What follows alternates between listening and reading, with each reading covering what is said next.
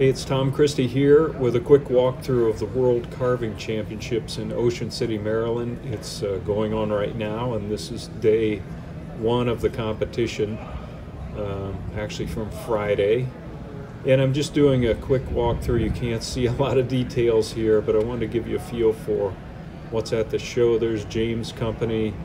Uh, here are the world pairs. It's the Canada Goose this year, a single goose. There's the World Interpretive category.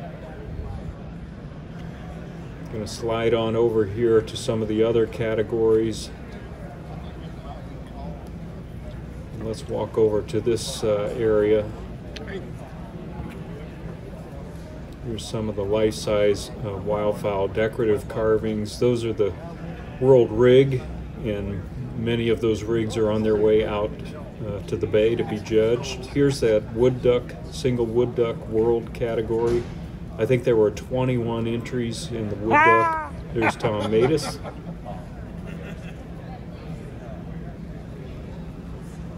Here's some of the other uh, gunning decoy categories.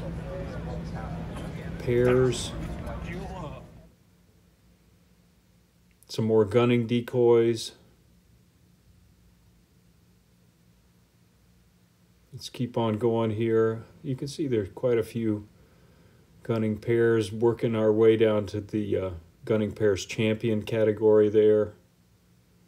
All of the judging is underway, so there are no results uh, to be posted right now. I just wanted to provide a walkthrough. Here's some of the beautiful uh, decorative work on the tables. I know many of you couldn't attend, so I thought it would be helpful just to show a few views from the show. This is the uh, World Decorative Life-Size category.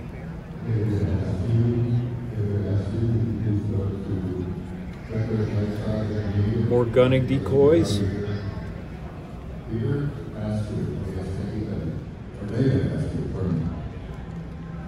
David Astor. Here's some of the shorebird decoys. Here's some of the, the antique decoys, or made to look like antiques. More gunning pairs. There they're shuttling uh, World Rig entries out to the bay to be judged. There's another section of the convention center that was opened up this year. It's created a lot more additional space. There's the palm frond category. You can see there's a lot of uh, empty space because there's just so much more room this year.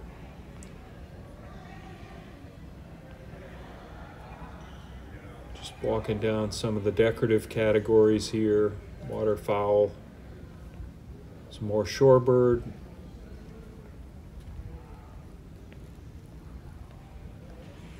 It's a shorebird category swing around the end here and uh, go over to the fish carving area. So you can take a look at that real quick.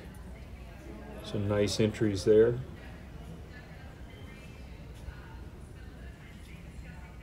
Now we're jumping outside and this is the uh, judging going on for the world rig. And those are the rigs. You can see it was a pretty calm day on the bay and so there was there wasn't a huge test on the flotation of the decoys um, because the chop just wasn't there this year so it's a nice calm day.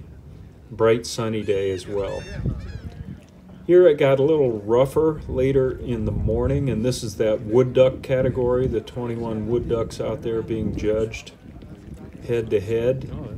Great category. There's a five judges on the barge a lot of work by the bird handlers, putting decoys out. This this is uh, I think later a gunning pairs category.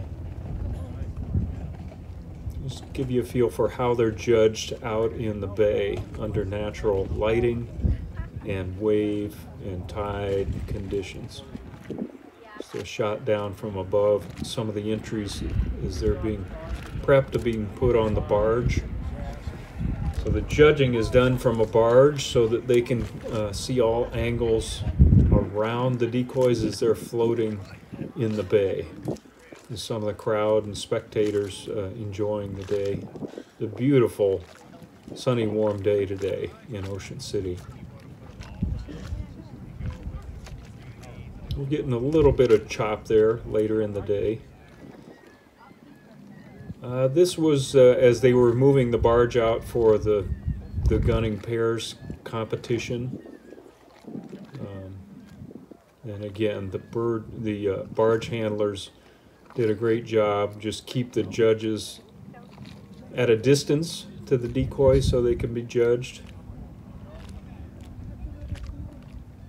Here's a flyover that I just happened to happen while I was out there, and it was great to see the, the live birds going over while while the decoys were being judged down below. But a great first day. I'm not posting results. I'm just, uh, again, trying to give you a feel for what it's like at the competition.